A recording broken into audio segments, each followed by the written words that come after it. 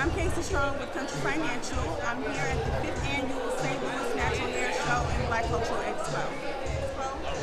And I'm here just to stand out to the community about financial literacy, auto, home, and life insurance and retirement planning.